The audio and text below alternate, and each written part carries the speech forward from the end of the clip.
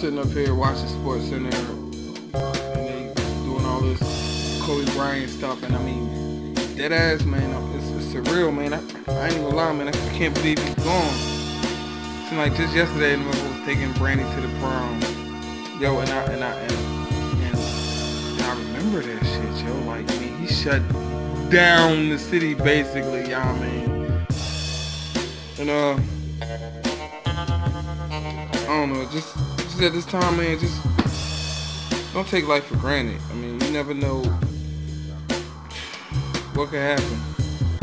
You never know what could happen. And, and the fact that his, his his daughter passed too, that that just that hurts even more. It's just, I mean, you can see by the outpouring of love, this, this man was something special. Philly cat, you know what I mean? Jelly Bean Bryant, Kobe Bean Bryant, you know what I mean? People say he's, he, he, he was a Los Angeles, Los Angeles, Los Angelino, or however you say it, which, you know, he, he was, but people my age and, you know, around my era,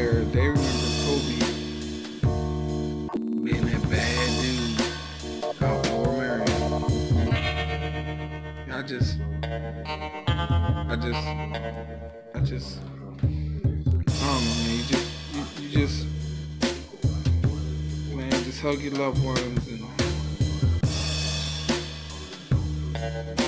I don't know. And any Kobe slander, man, that's ridiculous, for real. And he lost his daughter too. I mean, just imagine what his wife is doing.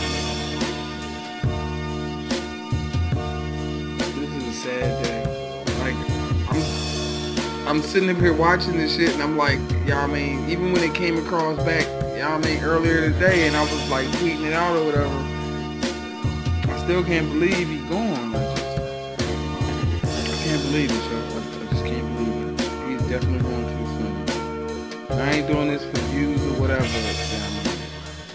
I ain't posted in a minute.